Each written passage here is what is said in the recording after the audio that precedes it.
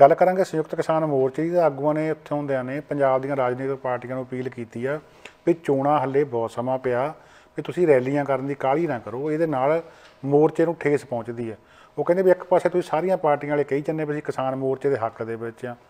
ਹੁਣ ਪੰਜਾਬ ਦੀ ਜਵਾਨੀ ਜਾਂ ਤਾਂ ਕਿਸਾਨ ਮੋਰਚੇ ਤੇ ਜਾਊਗੀ ਤੇ ਜਾਂ ਰੈਲੀਆਂ 'ਚ ਜਾਊਗੀ। ਕਿਉਂਕਿ ਅਸੀਂ ਰੈਲੀਆਂ ਕਰਦੇ ਆ, ਪ੍ਰੋਗਰਾਮ ਕਰਦੇ ਆ, ਲੋਕਾਂ ਦਾ ਧਿਆਨ ਕਿਸਾਨ ਮੋਰਚੇ ਤੋਂ ਹਟ ਕੇ ਤੁਹਾਡੀਆਂ ਰੈਲੀਆਂ 'ਤੇ ਜਾਂਦਾ ਆ। ਤੇ ਇਸ ਕਰਕੇ ਅਸੀਂ ਤੁਹਾਨੂੰ ਵਾਰ-ਵਾਰ ਬੇਨਤੀ ਕਰ ਰਹੇ ਹਾਂ, ਅਪੀਲ ਕਰ ਰਹੇ ਹਾਂ ਵੀ ਰੈਲੀਆਂ ਥੋੜਾ ਚਿਰ ਵਾਸਤੇ ਅੱਗੇ ਪਾ ਦਿਓ। ਇਹ ਜਿਹੜੇ ਆ, ਚੋਣ ਦੇ ਰੰਗ ਢੰਗ ਜਿਹੜੇ ਦੇਖਣ 'ਚ ਨਜ਼ਰ ਆ ਰਹੇ ਆ, ਇਹ ਬੜੇ ਕਾਲੀ ਭਰੇ ਆ। ਅੱਗੇ ਕੀ ਹੁੰਦਾ ਸੀਗਾ ਕਿ ਰੈਲੀਆਂ ਲਾਗੇ ਜਾ ਕੇ ਹੁੰਦੀਆਂ ਸੀਗੀਆਂ। ਤੁਸੀਂ 6 ਮਹੀਨੇ ਪਹਿਲਾਂ ਹੀ ਸ਼ੁਰੂ ਕਰ ਦਿੱਤੀਆਂ ਆ, ਜਿਹਦੇ ਕਰਕੇ ਕਿਸਾਨ ਮੋਰਚੇ ਨੂੰ ਠੇਸ ਪਹੁੰਚ ਰਹੀ ਆ। ਇਸ ਕਰਕੇ ਅਸੀਂ ਅਪੀਲ ਕਰਦੇ ਆ ਕਿ ਇਹ ਰੈਲੀਆਂ ਜਿਹੜੀਆਂ ਗਾਂਹ ਪਾਈਆਂ ਜਾਣ। ਇਸ ਦੇ ਨਾਲ ਹੀ ਆਪਾਂ ਗੱਲ ਕਰਾਂਗੇ ਕਿਸਾਨ ਆਗੂ ਰੁਲਦੂ ਸਿੰਘ ਮਾਨਸਾ ਉਹਨਾਂ ਦੀ ਜਿਹਨਾਂ ਬਾਰੇ ਆਪਾਂ ਪਹਿਲਾਂ ਵੀ ਖਬਰ ਸ਼ੇਅਰ ਕੀਤੀ ਸੀ ਕਿ ਉਹਨਾਂ ਨੇ ਗਨਮੈਨ ਜਿਹੜੇ ਮਿਲ ਗਏ ਆ ਜਾਂ ਉਹਨਾਂ ਨੇ ਗਨਮੈਨ ਲੈ ਲਏ ਆ ਜੀ।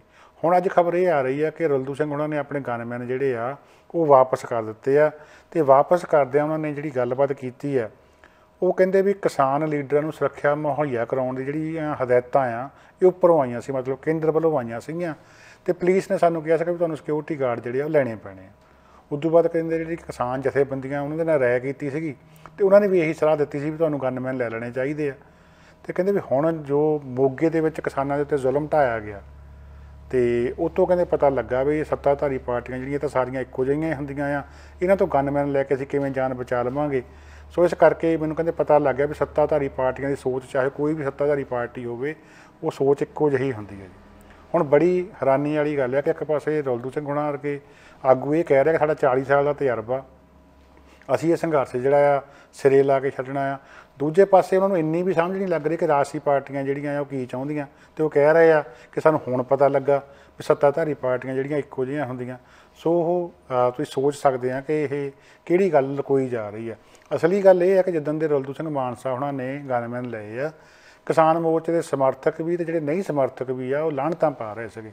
ਸੋਸ਼ਲ ਮੀਡੀਆ ਦੇ ਉੱਤੇ ਤੇ ਰਵਾਇਤੀ ਮੀਡੀਆ ਦੇ ਵਿੱਚ, ਸਿੱਧੀ ਫੋਨਾ ਫਾਨੀ ਦੇ ਉੱਤੇ ਰੁਲਦੂ ਸਿੰਘ ਉਹਨਾਂ ਨੂੰ ਕਾਫੀ ਲਾਹਣਤਾਂ ਪੈ ਰਹੀਆਂ ਸੀਗੀਆਂ।